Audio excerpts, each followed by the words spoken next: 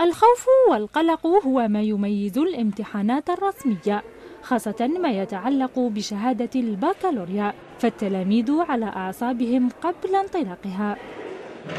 هالة واحدة ممن سيطر الخوف عليها وذرفت الدموع أيضا ما جعل عمال الأمانة يوجهونها إلى الأخصائية النفسية.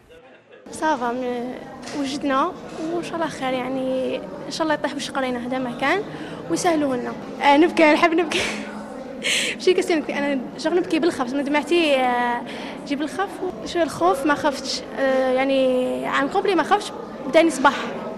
شو خفت ولا تقلق شوية مي صافا. التوجيه والإرشاد من خلال التحدث للتخفيف من القلق. هو ما تقوم به هذه الأخصائية النفسية في مراكز الامتحانات إضافة إلى تدخلات طبية أخرى من طرف مختصين إذا تطلب الأمر ذلك. يكون في القسم ينتحط له لي سوجي يبدأ يبانيكي يبدأ يتقلق يبدأ يتعرق يبدأ يرجف. هادو كامل الأعراض هي محفزة. بظهور يقدر يظهر عنده شغل اذا كان طفل عنده مرض السكر ولا كان عنده لاشتيا ولا يقدر يأثر له على يظهر فيزيولوجيا.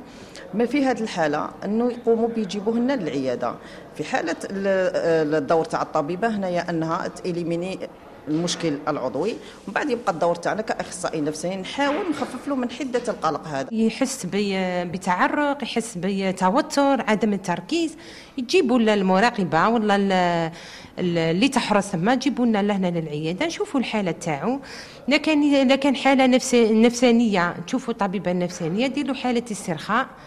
ولا كان يحتاج هكذا حقن عنده أعراض أخرى. وين يحتاج حقن؟ ولا يحتاج سيروم نديروا له لهنا الهدف تاعنا الرئيسي إحنا التلميذ ما يخرج من المؤسسة ويجوز الامتحان تاعو يعقب الامتحان تاعو ولا يلباس ليكزامان في ظروف جيدة وملائمة. تقديم الإسعافات الأولية. مرافقة نفسية طيلة فترة الامتحانات عن طريق عيادات متواجدة بجميع مراكز إجراء امتحانات شهادة البكالوريا. الهدف منها عدم خروج التلاميذ من المراكز وإتمام امتحاناتهم بأريحية.